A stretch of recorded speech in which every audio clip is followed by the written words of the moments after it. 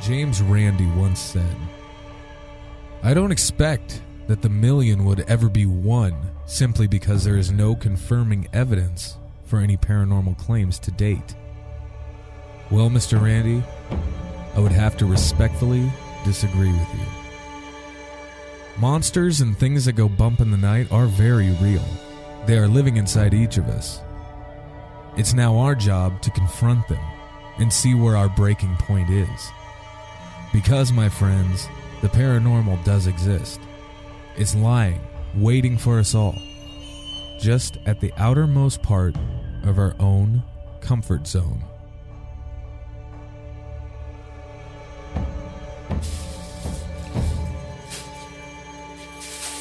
Sensory reduction.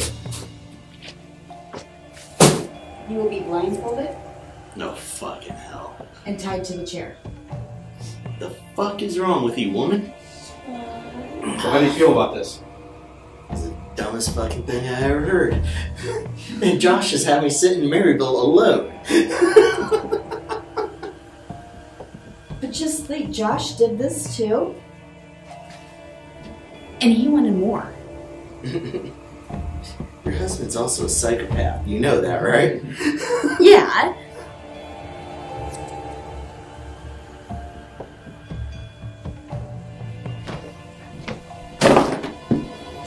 We are giving you full permission to provoke. Under one circumstances. Go ahead and sit down. That chair right there.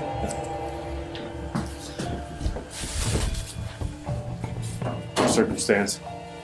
Sensory deprivation. Huh? Sensory deprivation. What's that? You are going to be blindfolded. No.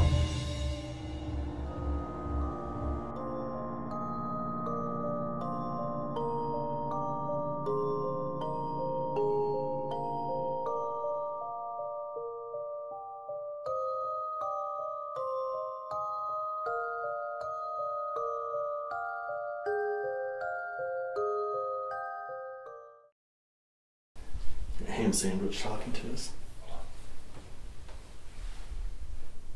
I just heard a what? Yes. Did you hear that? What? Yes. Mm-hmm. Said what?